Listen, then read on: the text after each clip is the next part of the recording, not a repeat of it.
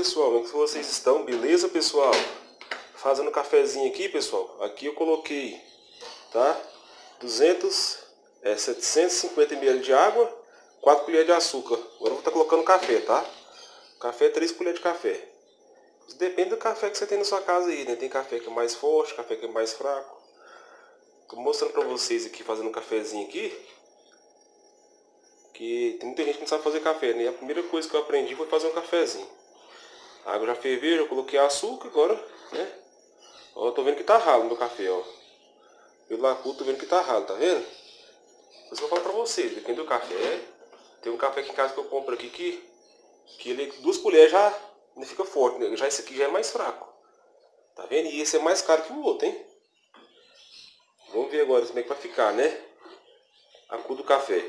Então não adianta falar pra você que, ah, põe 5 colheres de café, põe duas. Depende do café. Ó, agora ficou bom, tá vendo, pessoal? Agora o que, que eu vou fazer? Vou estar tá coando meu café, né, pessoal? Tá coando meu café, né? E tá saboreando ele, né?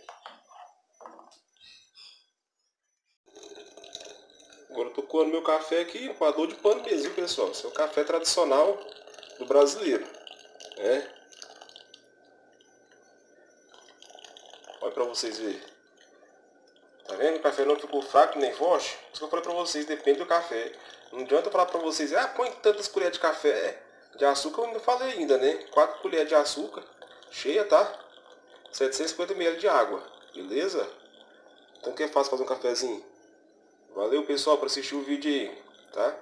Que Deus abençoe você e sua família aí. Tchau!